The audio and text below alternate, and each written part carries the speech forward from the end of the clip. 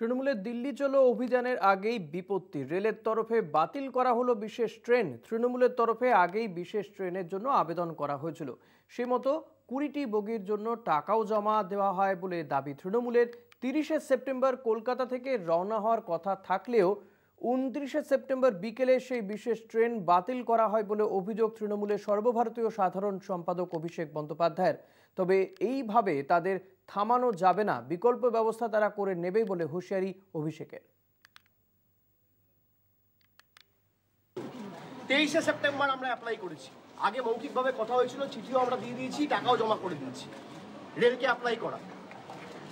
Security deposit rail জমা নিয়েছে। এখানে দেখুন আইআরসিটিসি এই যে চিঠি। General manager IRCTC booking IRCTC through দিয়ে হয়। সিকিউরিটি ডিপোজিট জমা নিয়েছে। কুড়িটা বগির জন্য আবেদন করা হয়েছিল। তারপর শেষ মুহূর্তে, কালকে ট্রেনটা রওনা দেওয়ার কথা, তিরিশ তারিখ রওনা দেওয়ার কথা, আর উনত্রিশ তারিখ বিকেলবেলা ইমেল করে জানাচ্ছে যে আমরা স্পেশাল ট্রেন দিতে পারব না। আপনার দয়ায় আমরা বসে নিই, আমরা বিকল্প ব্যবস্থা করে নেব।